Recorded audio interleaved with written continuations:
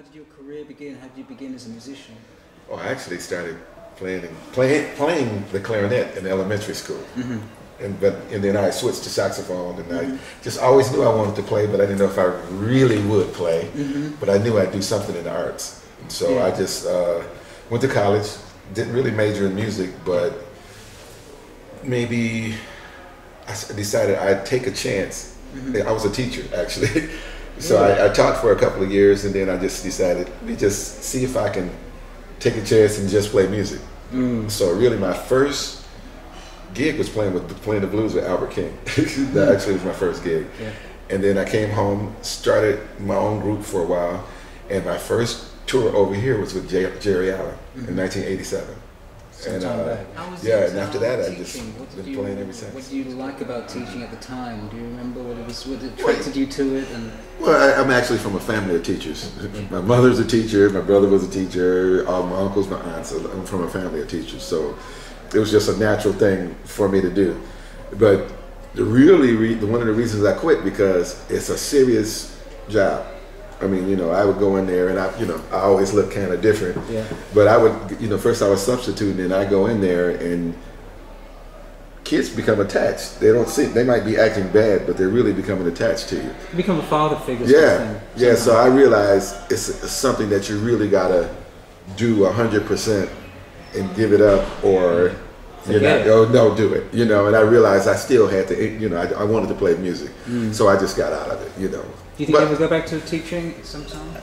Possibly because I mean, I, st- I, still have that same relationship with kids. You know, Yeah. they, you know, whether they're small or whatever, they kind of look at me and go, "You're kind of weird. You're looking," you know, and then they, uh, They like then that playfulness. yeah, yeah. And then pretty soon I have a relationship with them, you Yeah. know, and I don't, I don't judge them. I just kind of tell them, you know, Yeah, like what to do. So I, you know, I, I might get back into it in some capacity, but I don't know how. You know. jazz at the moment. Your most uh, jazz music. It's so Well, and you know, in the states, for you know, obviously for the last few years, the smooth jazz thing has been dominating, and it became such a formula that it was doomed to fail at a certain point because it became such a formula that if you wanted to get on the radio, you had to play this way, you had to play these notes, and that.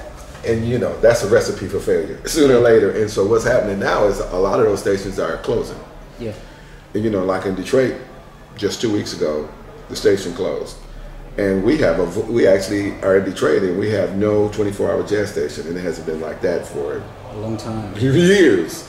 So, I, it, you know, so at this point, it's kind of at a strange state, but in the long run, I think it'll be good because now, if I know I'm not going to get on the radio, I can play whatever I want to play. You know, I can. Yeah. You know, if I know I'm, I can. You know, I'm not gonna. I don't have to do that. Yeah. I'm, I'm going to tend to be more creative and do what I want to do. So, I, you know, I think it's going to be healthy in the long run. Because somehow smooth jazz was set up like as a barrier for anything else, really. Right. It only. It only. You only can do that. I mean, and and it was designed where you couldn't even straddle the fence. Yeah. You know, what I mean, they wanted you to commit to it. Yeah. But then at a certain point, they didn't support you. You know, so I, you know, I was in a situation where, you know, I, I, managed to get a little support, and once you get the support from one station, you tend to get it across the country. Course. Yeah. And so they supported one song. But then when you come out with a new CD, they don't really support that. They'll still play the old song because it's really not about the music. It's about selling commercials.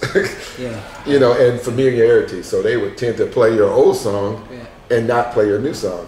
And that's not healthy for artists or anyone involved, you know. It's just healthy for the station to make money. It's not very. It's not very uh, influential for creative people. Uh, it's, it's anti-creative creativity, really. It's anti. What was your? What, how did you? You know, when you first moved into jazz or first moved into music, you know, what were your thoughts?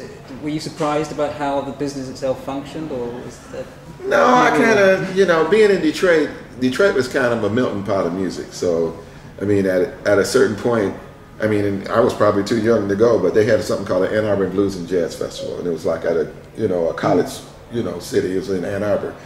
But I'd look at the roster, and they'd have like Sun Ra, Yeah. and then they'd have the MC5, you know, like underground rock and roll, and then they, you know they had a really eclectic, you know, schedule. Yeah. And I would look at that and go, wow, I wonder who those groups are. But that's what I grew up in. So I, you know, it was pretty progressive. Detroit was pretty progressive at that time, Mm. you know. So those were my influences, you know, Quite broad. yeah, very very wide. So Yeah. I mean, in Detroit, I would play in a rock band. I would play in a, you know, a soul band. I, you know, I, I kind of did it all. You know, so I mean, Blues and I tended to do that all the way up. I mean, you know, I, you know, I played techno music. Uh, you know, I, in you know, in '85, that's I was deep into Yeah, yeah. techno because Detroit was, you know, was kind of a mecca for Yeah, techno, of and so I was course. deep into that, and I was always trying to figure out a way to put sax in it and do all the things that I do. Yeah. You know, and it was not until '87 where I just said, okay, well, you know, Geri Allen was a, a friend of mine, and we were really deep into music, and uh, we had a situation to come up, come to Europe, and that kind of really changed everything for me. You know, just coming over here and seeing how wide Things really are. things really were, you know, and that was that was a good period for me, you know. And do you think um, it's still that that big difference between the states and Europe now? Definitely. Yeah. Definitely. I mean, just by just you saying who's playing over here, you know, with just you got Steve Gadd, Richard Bona, and all these people. I don't, you know, in Detroit, uh, Steve Gadd probably hasn't been in Detroit in years, or Richard Bona, or you know, I mean, you know, Mike Stern. That's kind of it. I mean, I, it, like, I, it's it's strange, that, but you know, I've been in Europe for the last three years. I've been, for the last two years, in between my last record, I was playing with an R and B guy, and his name is Kem. Mm. He's just he's just really breaking out over here. His name is K E M Kem.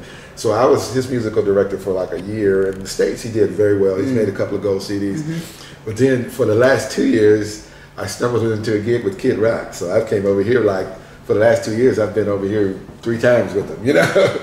And I, I, I just was over in November with him, so that's been a pretty different situation, you know. Yeah, yeah. But it's actually been it was it was a lot of fun and it was very good, you know. Do you do you have to make any adjustments when you you know you take on all these different hats, different styles?